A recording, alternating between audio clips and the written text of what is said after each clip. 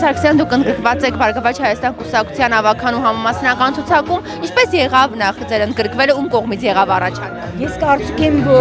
կարծում եմ բոլոր նրանք, ովքեր ընդհանրապես քաղաքական process-ներին հետևում են, պիտի հասկանան, որ սա պատահական հանդիպում չէր հերթական անգամ Բարգավաճ Հայաստան կուսակցության հետ, որտեղ 14 տվից ի վեր մենք համագործակցել ենք, ակնկալվել է անցյալ ավականու։ Ստացվեց նաև խորհրդարանական։ Ու չստացվեց։ Ինչ-ինչ պատճառներով չստացվեց, բայց մեր համագործակցությունը երբեք չի դադարել եւ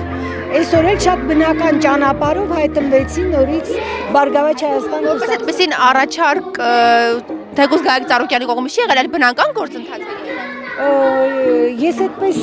բնական եմ տեսնում այդ ամեն ինչը, բայց եղել է բնականաբար որոշակի հարաբերությունների արդյունք։ Հիմա չմանրամասնենք թե ինչ ձևով, ինչ մարուկներով, բայց դա բնական համագործակցության արդյունք է։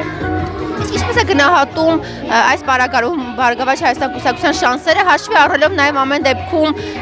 որ Թավշյա հեղափոխությունից հետո ինչպես ասում են էյֆորիան դեռ վերջնականապես չի անցել։ Գիտեք, ես շատ բարձր եմ գնահատում Բարգավաճ Հայաստան կուսակցության հնարավորությունները, հատկապես որ ցուցակը գլխավորում է Նայրա Զոհրաբյանը։ Շատ փորձառու քաղաքական գործիչ, շատ հմուտ կառավարիչ, որտեղ մարդը նաև կուսակցություն է կառավարել, ես շատ լավ գիտեմ, թե դա ինչ է նշանակում։ Շատ մեծ կազմակերպչական ջիղ, մենեջերական հատկություններ, հոգեբանություն, որը պարտավոր է ունենալ Եթե ուզում ես այդ թիմի հետ դու կարողանաս աշխատել։ Ըստ էության այդ փորձառությունը ամենից շատ ունի Նայրա Զոհրաբյանը։ Եվ չմոռանանք, որ նրան աջակցում է մի ամբողջ թիմ, Բարգավաճ Հայաստան կուսակցությունը, իսկ մենք շատ լավ գիտենք Գագ Ծառուկյանի, ասենք, նպատակները ինչ վերաբերում է Երևան քաղաքին, երկրի զարգացմանը, եթե թիմը հաղթում է, ապա մենք միանշանակ հասկանում ենք, որ Երևան քաղաքը ունենալու է նաև ոչ միայն Նայրա Զորաբյանի տեսքով քաղաքապետ, այլ նաև ունենալու է մի մեծ բարեգործ, որը մշտապես աջակցելու է Երևանի խնդիրների լուծմանը եւ ավելի քան վստահ եմ, որ նա դրա համար նաեւ իր անձնական միջոցները չկնայելու։ Հետևաբար ունի շատ բարձր վարկանիշ Բարգավաճ Հայաստան կուսակցությունը, ունի անձնական շատ բարձր վարկանիշ Նայրա Զորաբյանը, որտեվ շուրջ արդեն 13 տարի է նա ակտիվ քաղաքականության մեջ է եւ կարծում եմ, որ վստահությունը Նայրա Զորաբյանի նկատմամբ բավականին բարձր է։ Մյուս տեխնացուների, ասենք, հնարավորությունները չնսեմացնելով հանդերձ, ես գնահատում եմ Նայրայի հնարավորությունները բավականին բարձր։ Այստեղ նաև դուք այս հենց բարձր եք համարում անձամբ Նայրա Զուրաբյանի հնարավորությունները, քանի որ վերջին օրերին խոսում էր, ամեն դեպքում Բարգավաճ Հայաստան կուսակցության դեպքում ֆակտորը հենց Գագիկ Ծառուկյանն է, այլ ոչ թե տեխնացուն։ Գիտեք, բերեք չանջատենք դա, բայց եթե այդպես դիտարկենք, ապա այս դեպքում Հայկ Մարուկյանի թիկունքում էլ Նիկոլ Փաշինյանն է կանգնած, ում վարկանիշը նույնպես շատ բարձր է։ Հետևաբար ձայն են տալու ոչ միայն Հայկ Մարուկյանին, այլ Նիկոլ Փաշինյանն են ձայն տալու։ Այնպես որ այդ օրինաչափությունը այստեղ այդ օրինաչափությունը միանշանակ գործում է։ Գագ Սարուկյանի վարկանիշը շատ բարձր է եւ նոր չի որ բարձր է։ Հետևաբար դա եւս գործոն է, որը կաշխատի, բայց Եթե այդպես նայենք, ապա Նայրա Զորաբյանի անձնական վարկանիշը շատ-շատ ավելի բարձր է, քան Հայկ Մարուկյանի։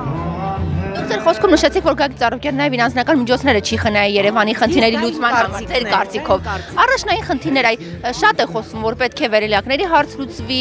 աղբահանության խնդիրը կարգավորվի, հասարակական տրանսպորտը։ Դուք դա ինչպես եք պատկերացնում։ Այսինքն միշտ դրան հենց առաջինը ֆինանսական միջոցներն է անհրաժեշտ։ Ես ավելի քան վստահ եմ, որ բոլոր քաղաքական ուժերի ծրագրում բոլոր այդ խնդիրները դրված են։ Ստե խնդիրը հետևյալի մեջ է, որ քաղաքական ուժն է ի վիճակի այդ խնդիրները լուծելու։ Ես ավելի քան վստահ եմ, որ Նայրա Զորաբյանի քաղաքապետ ընտրվելու պարագայում այդ խնդիրներին լուրջ աջակցելու է նաև Գագիկ Ծառուկյանը։ Եվ կարծում եմ պատահական չի, որ մեր ուրեմն երթը սկսել ենք նախընտրական,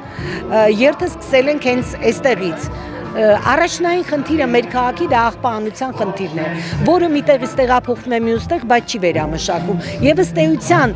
քաղաքի կենտրոնը, կենտրոնի աղբը տեղափոխվում է ծայրամասեր եւ այդ ծայրամասերի բնակիչները ապրում են այդ կեղտերի կեղտին զուգահեռ եւ երբ գալիս ենք այստեղ պիտի խոստովանեմ երկրորդ անգամ եմ լինում այս տարածքում եւ հոտից կարելի էր ուղակի խեղդվել սա նորմալ վիճակ չի Նուբարաշենը նույնպես Երևանի մի մասն է։ Ես կարծում եմ, որ կենտրոնի վրա այդքան կենտրոնանալ չի կարելի, հիմա պետք է աշխատել հենց ծայրամասերի վրա։ Դուք անձամբ ունեք ծրագիր, որը պետք է ներկայացնեք, իրականացնեք ավականին։ Անձնական ծրագիրը չեմ ներկայացրել, Բարգավաճ Հայաստանը ունի շատ լավ մշակված ծրագիր եւ այդ ծրագրերի իրականացման մեխանիզմներ։ Կարևորը որ այդ ամեն ինչը շատ հստակ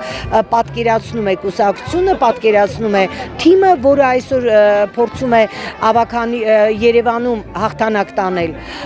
ավականու ընտրություններում եւ ես մեկ վարքյան անգամ չեմ կասկածում նաեւ հիմնվելով անցյալի Գագ Ծառուկյանի աշխատանքի եւ խոստումների վրա, որտեղ նա մշտապես ինչ խոստացել է արել է մեր քաղաքի համար նա շատ-շատ լավ բաներ է արել սկսած օլիմպիական համալիրից եւ շատ-շատ կանաչապատումից չեք մասնակցել ծրագրի մշակմանը բայց կիսում եք ես ծրագրին ծանոթ եմ ծանոթ եմ եւ կիսում եմ այդ ծրագիրը եւ համարում եմ ինձ մի մասը այդ ծրագրի իրագործման ճանապարհին վստահ եմ որ եթե քաղաքացին ձայնը տա Նայրա Զոհրաբյանին միանշանակ կարող է ակնկալել որ ծրագրային դրույթներում արտահայտած բոլոր կետերը կյանքի է կոչվելու միանշանակ ես դրանում չեմ կասկածում լավ ճանաչելով նաեւ Նայրային խորհրդանից որտեղ նա եթե մի բան ասում է հաստատ անում է եւ այլ տարբեր տարբերակ չկա էլ, որովհետև թիմը ղեկավարում է մի մարդ, որը միշտ իր խոսքի տերն է, Գագ Ծառուկյանի մասին է խոսքը։